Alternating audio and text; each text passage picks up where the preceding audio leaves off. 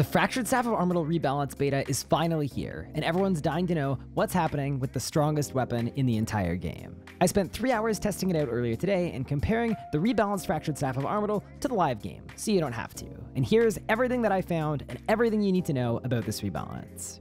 First off, what was actually changed? Well, there were a few main things. For starters, instead of an auto attack when you crit, you now get an ability damage proc.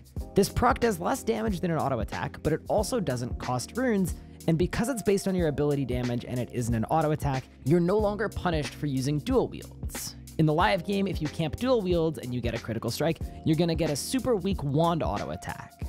Because this change now makes your Fractured Staff of Armadyl damage based on your ability damage, you're no longer staff locked, and you can freely swap between a staff or use a wand and an orb. Because of this, the backbone of the new optimal Fractured Staff of Armadyl rotation is Greater Concentrated Blast. It's an extremely strong ability with a short cooldown, and it synergizes extremely well. Not only do you get three small hits that all have a chance to crit, but you get increased crit chance with each hit as well. This is by far the biggest change, as it fundamentally changes the way that you're going to approach a rotation.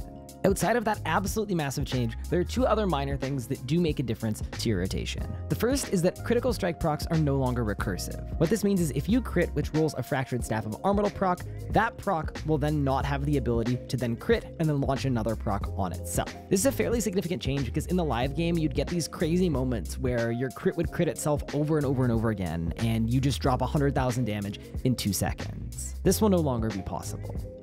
The one other noteworthy change is that your Fractured Staff of Armadyl crit attacks will not carry spell effects anymore.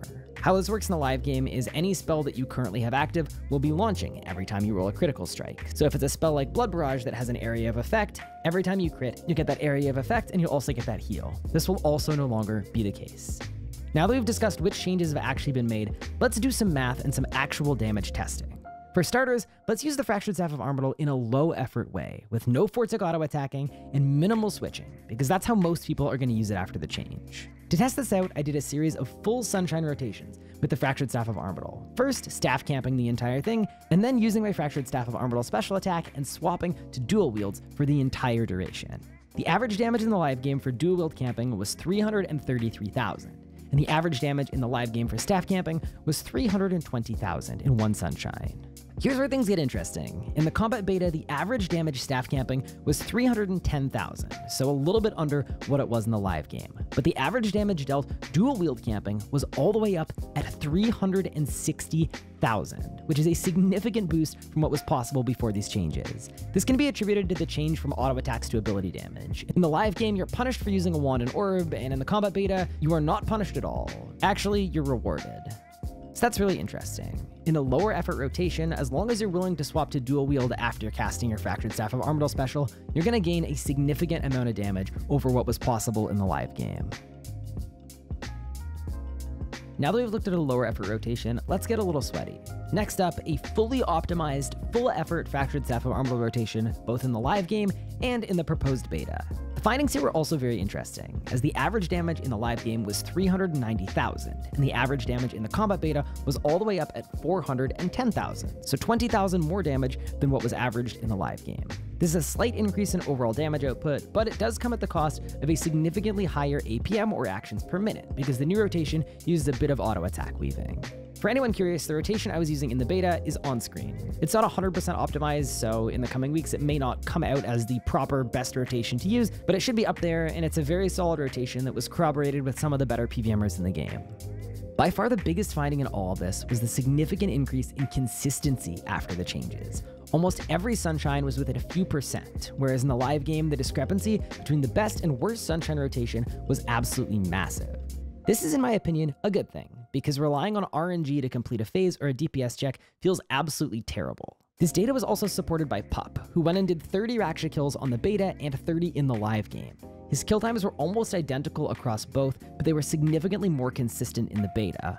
You'll notice the difference between his quickest and his slowest kill in the beta was about 20 seconds, and it's actually a full minute in the live game.